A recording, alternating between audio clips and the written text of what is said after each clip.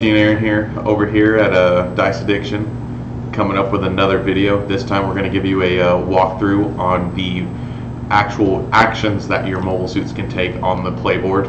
Um, while I'm on camera, Rusty will be doing all of the examples while I list them off from the instructions. So, without further ado, let's just jump right into it. This is going to be a quick video today, not to waste anybody's time.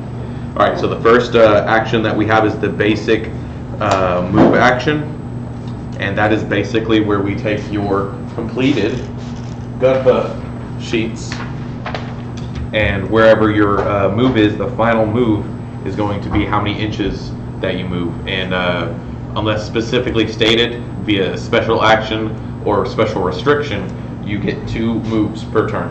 Yep. So in this instance, Rusty is going to have a 17 moves uh, move span. So he gets twice of that, so he gets 34 inches that he can move in one turn. And so, oh, I'm just going to use all 17 for my first move action. I'm just going to measure right over to there from the edge of my Gunpla base and just line it up right there. And then that's just a simple direct movement. And then, then you have your point-to-point -point movements. And so, oh, um, you're not required hard to move the complete distance, hence of your final move. And so, Um, you can even cut it down into smaller, holler movements in the same action. However, you can't, um, so, for example, um, out of the 17 I have left, I could move 5 over to here. And then I could move another, uh, another foot.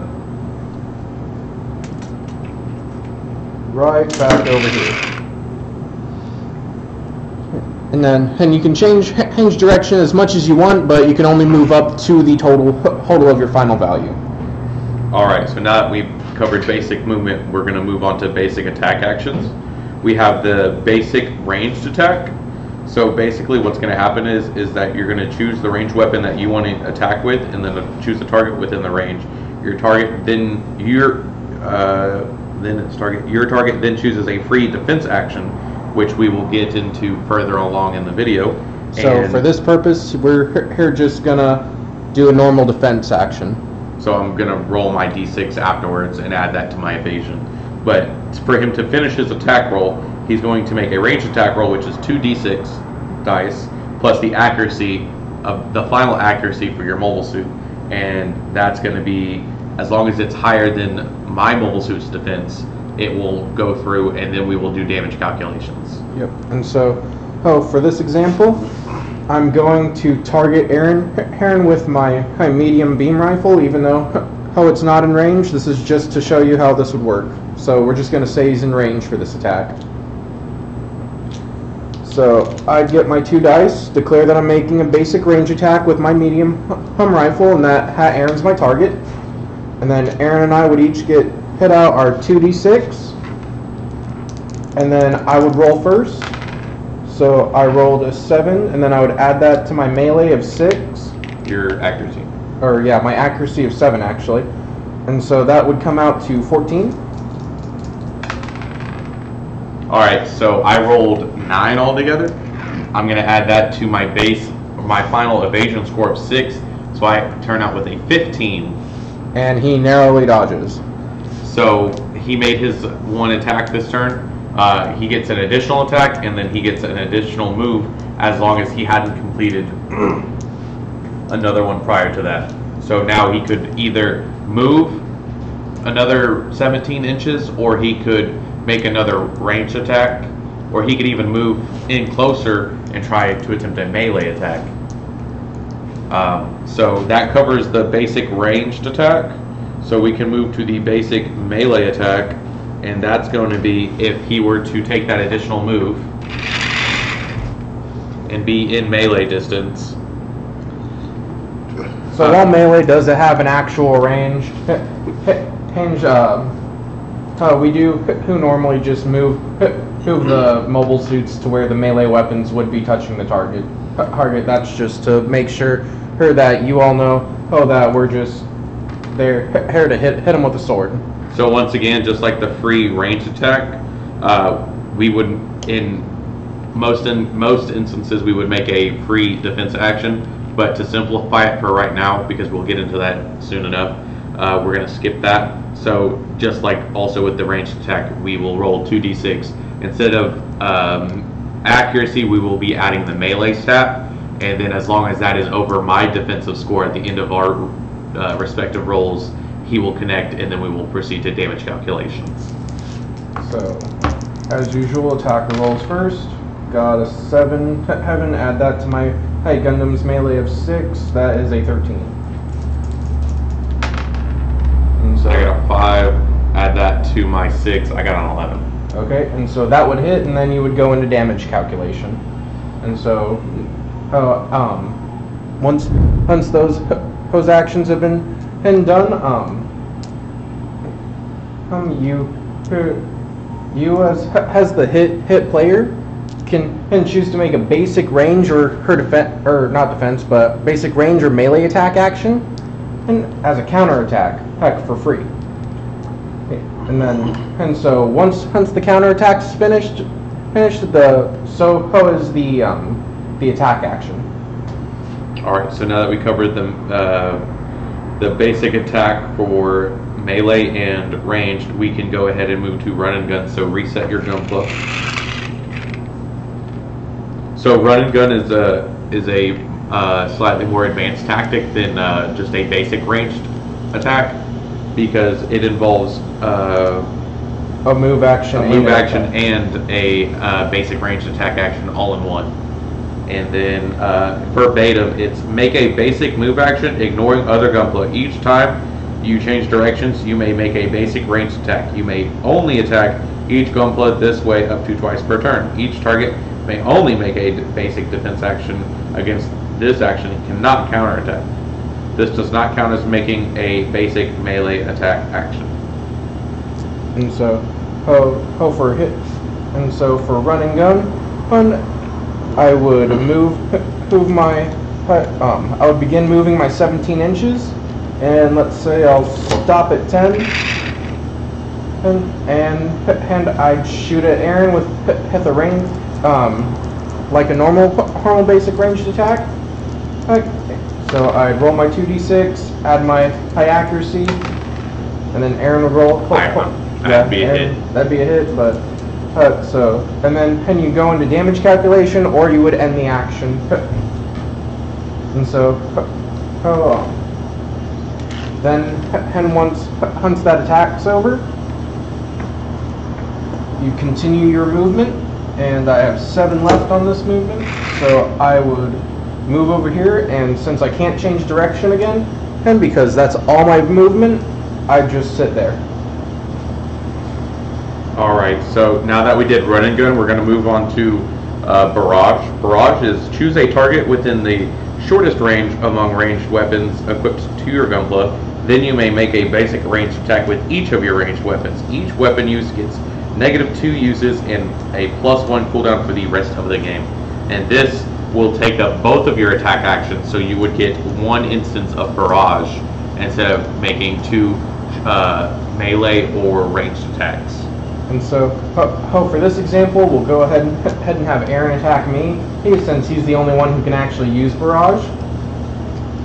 So, Oh no. out of hand. Just, just twist the wrist. Here, there you go.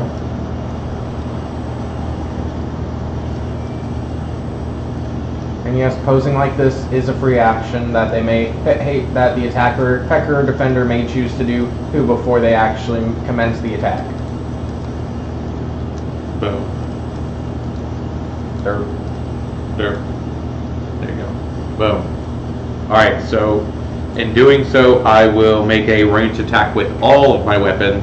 So I will get a one instance of large beam rifle and two instances of medium beam cannons. So then I would roll separately for all of them or roll consecutively for. You would so- roll, you would roll whole for all of them in a single roll. Okay, so the, whatever I roll for the first time is going to be what all of them are going to use? Yep. All right, so basically, if one hits, they all hit, guys.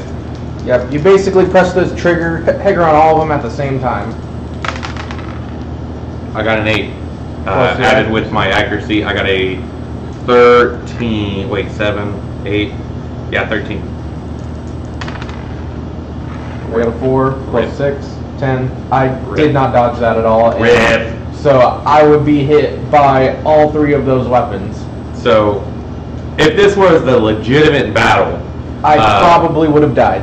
he would have taken 48, uh, 62 points of damage before we calculate uh, AP and damage resistance and whatnot. So I'm pretty sure he's only got like 70 hit points to start with, or something like that. You'd knock me down to ten So I I would've- hit and ignored AP completely. I would have almost chunked him out completely. Uh, so, so that's barrage. It's useful for if your gunpla has a bunch of uh, uh, weapons equipped. So GM Carnigan, um, what else? Uh, Strike Freedom, Heavy arms. Heavy Arms. Um, Heavy arms was the inspiration for this thing. Basically anything with a large amount of weapons on board, even if your customs, you know, have multiple weapon systems on board that you know you can use right off the bat, use them, and you know you're gonna you're gonna be able to chunk your opponent out for a lot. But keep in mind that this target's the closest opponent, not the opponent of your choice. It is the closest opponent, so you would have to measure around all of uh, your nearby enemies. All right, so on from barrage fire, we're going to move over to linked fire. All right, so when you make a ranged basic attack, multiply the damage by the number of that weapon equipped to your gunpla. All weapon weapons used for the attack get negative two uses for the rest of the game. Example: If you have an attack, if you attack with a small pistol and have three small pistols equipped, multiply the damage by three until after damage calculations. Uh, they have to be the same type. So another example is you cannot link fire a small rifle with a multiform weapon that has a small rifle form. So Rusty, would you like to explain that a little more since uh, the rules don't help out that much? Yeah. Uh, so basically, he um, multi-form weapons here, like my high rifle with the bayonet. You'd have the bayonet form that you can attack with, and you'd have the rifle you can attack with. So, oh, if I had another medium rifle, but it didn't have have the bayonet form, then it couldn't link fire with hit the um, with this combined high multi-form weapon here. And so, oh, in the instance of Aaron's Aaron's cannons that are mounted on on that Mark III shoulders, he'd be hitting me for two for double damage. With both of them? Yes. So each of them would hit you for 48. Yes. So I would kill you in one shot. If we were keeping track, hacking this was an actual game, yes. Rip. I'm going to use this from now on. Aaron, I would have killed you already making the actions. I already did this video. I made no defense bet. Don't start this, Rusty. Okay. All right. So, uh, so uh, yeah, that's linked fire. So then we have uh, hit and run instead of run and gun. Make a basic move action. Basically, it's going to be what um, It's run and gun. it's run and gun, but with, with your sword. So I'm not going to put any more time into that. That you guys already can scroll back through the video and see the example for run and gun because it's the exact same. All right, so throw. This one's a little interesting. Choose a target within four times your melee weapon's range and make a basic range attack with a melee weapon. After damage calculation, put the weapon within two inches of the target. The weapon is dropped. And so for a large melee with a range of 8, so 4 times 8 would be 32 inches. So I could throw this sword 32 inches. And so oh, how that would work is after the attack roll and defense roll, this sword would end up right here. Just right next to your opponent because you just threw it at him. For him to pick up and use against you. Yes, that is a huge possibility. All right, so the next one is chain. You may make a second basic melee attack. If the second attack is also a success, you may make a third basic melee attack. You can only chain once per turn. So this is whenever you land a me- melee attack and then your second attack is a melee attack also, you can go ahead and get a third free melee attack. Um, and then grapple. Almost, Aaron. Um, um, so, oh, the way chain works is that if your her melee attack succeeds with chain, you get to make another other melee attack as a free action. Action. So that'd be the second second attack, and then if that one's successful as well, you may make a third. Okay, So- thanks for clearing that up. But- So if I hit Aaron, I get to make another attack action for free after his counter attack. And and after that, after the counter attack of the second attack, if I had hit him, I'd make a third, and then he'd counter attack me again, and then and the action for chain would be over. All right. So then the last one for these attack type actions are is grapple. Make a basic melee attack with unarmed melee. If the attack succeeds, you and the uh, the target are now grappled. Neither of you can move and may only attack each other with unarmed melee and small and medium-sized weapons. And just for dramatization, I'm going to pose pose the Expos actually trying to grapple grapple with the Mark III. That is a one one hundredth scale. It is Nissan. done. So, so once once you've been grappled, how the only way hey to get out, which is the next action we're going to cover, is breakaway.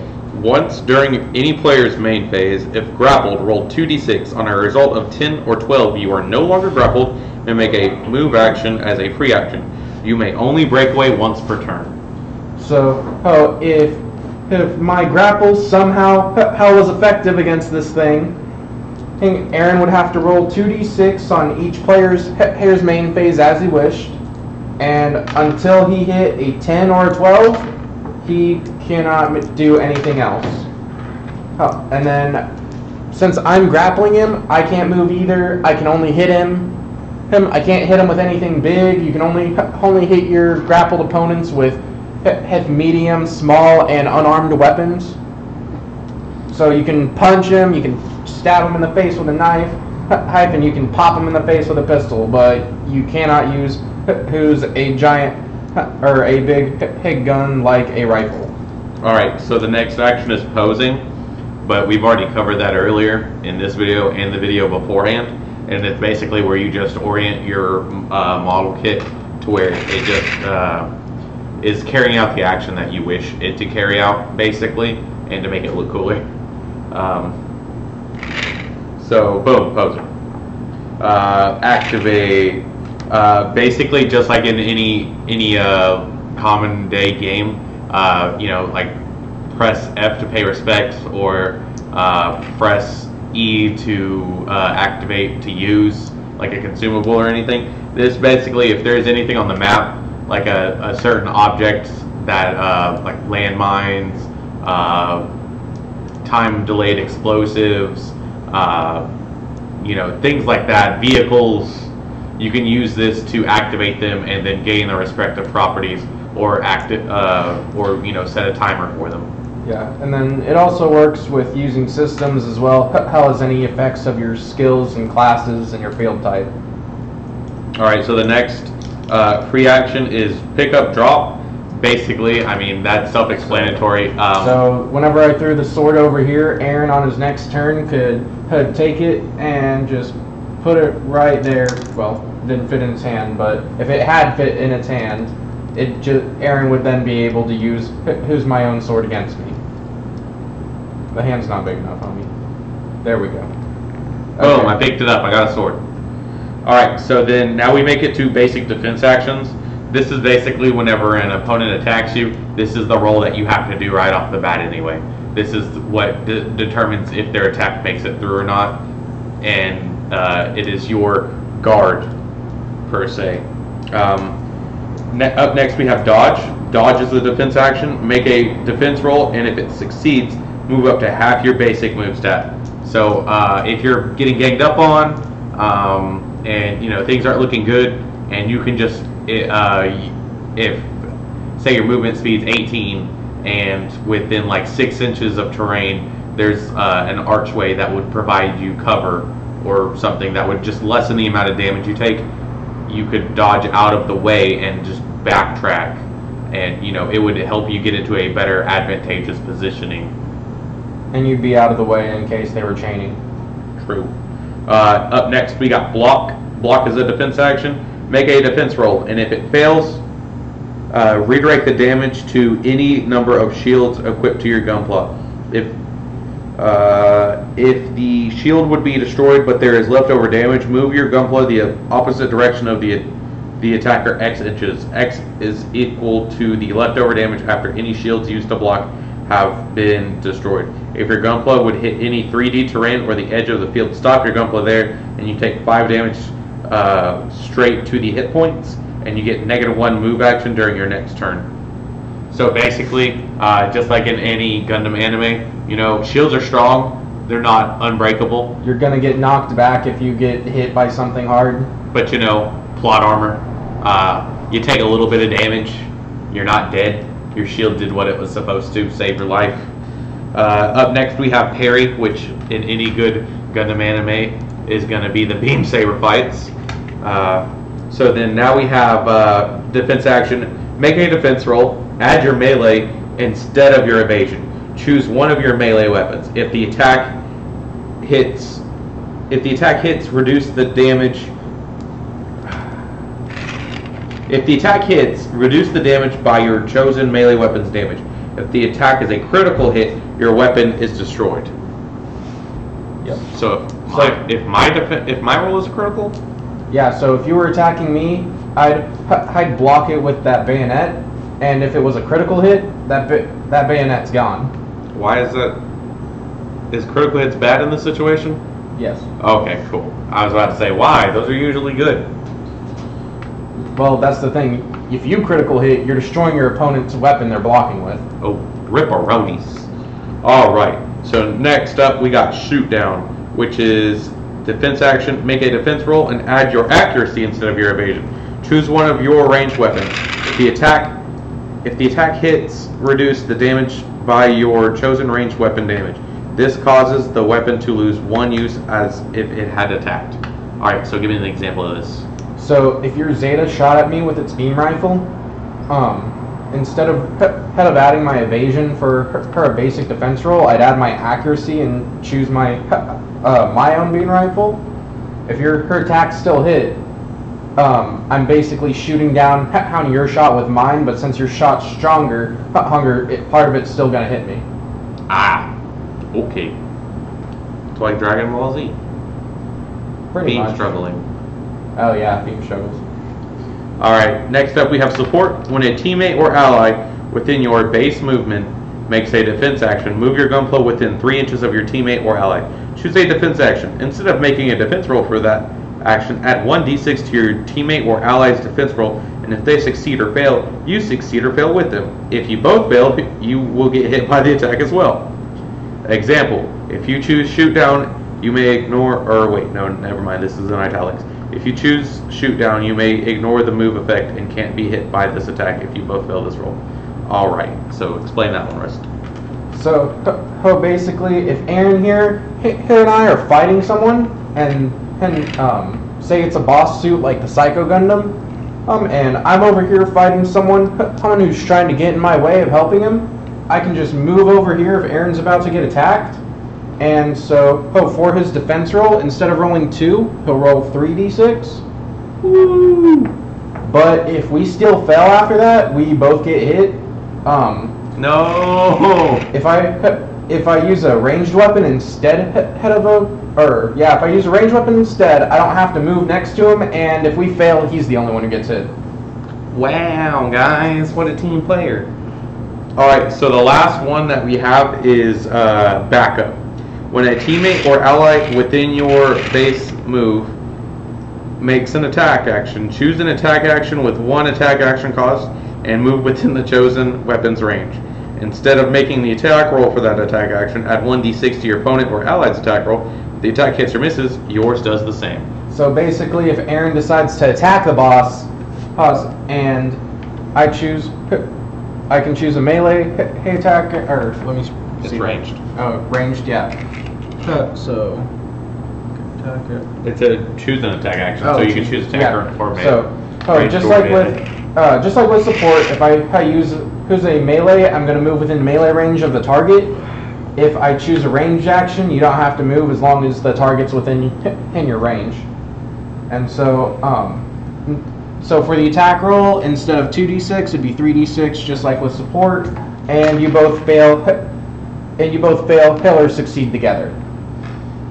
Pretty sure with a 13 off of 3d6, that's a fail. Yep. All right, and I think, guys, I think all we were gonna do this video was cover the basics for all of the uh, the basic actions for attacking, blocking, or attack, defense, and movement. And then next week we will get uh, get into systems and start explaining how those work and how uh, choosing the best one for your Gundam would work out, and also how some of them have restrictions based upon the mo- uh, the mobile suit in itself.